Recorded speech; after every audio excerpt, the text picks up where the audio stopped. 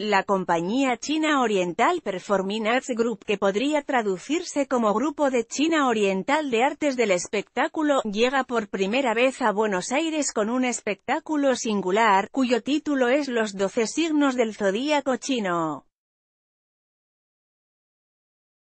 En una entrevista, pocos días antes de aterrizar en el país, su director Sen Chen explica que hubo otras tres compañías estatales que los precedieron, tanto de danza como de música y canto, y de las que reconocen una influencia.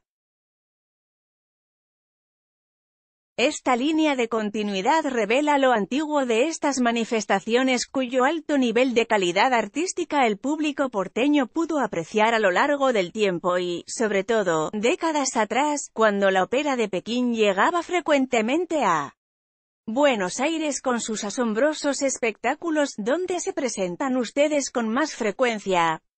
Newsletters Clarín La compañía trabaja en toda China y también ha llevado sus producciones a los cinco continentes y a más de 70 países y regiones. Igualmente participa en numerosas presentaciones en eventos nacionales y desempeña en cierta forma el papel de enviado cultural en el frente diplomático. ¿En qué ciudad de China está establecida? En Beijing. ¿Es esta la primera obra de la compañía? No, tenemos una amplia trayectoria en el mundo de las artes y del entretenimiento. 12 Chinese Zodiac no es la primera obra que producimos pero es la más reciente, y hasta el momento solamente se había presentado en China.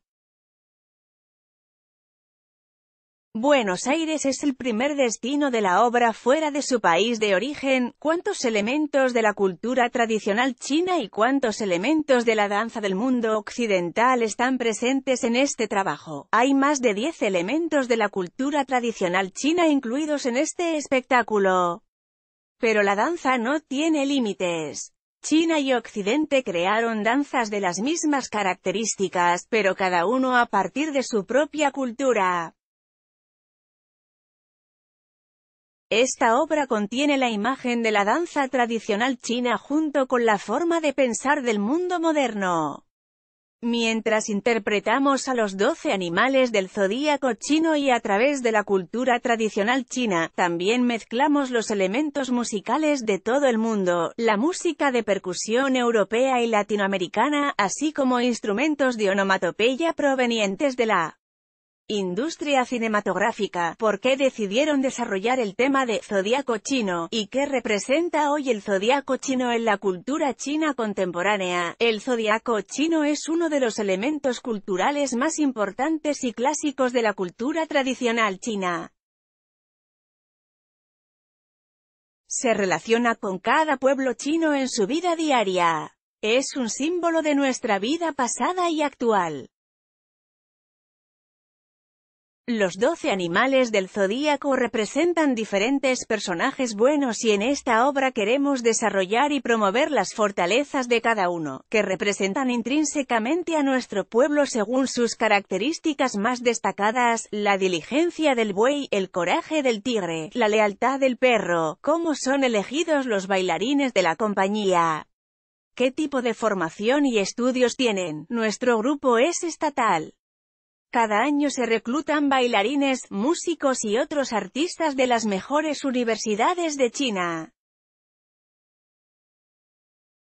Antes de ser admitidos formalmente, estos artistas jóvenes deben tomar de 6 a 10 entrenamientos profesionales. Y de ahí surgen los mejores que luego se incorporan a la compañía, es necesario que la audiencia occidental sepa sobre el zodíaco chino para que puedan apreciar o comprender el trabajo. Si los espectadores pueden aprender algo sobre el zodíaco chino a través de nuestra obra, los habremos ayudado a apreciarla. Lunes 26 y martes 27 de noviembre a las 20,30. Teatro Coliseo, MT de Alvear 1125. Entradas desde 300 dólares.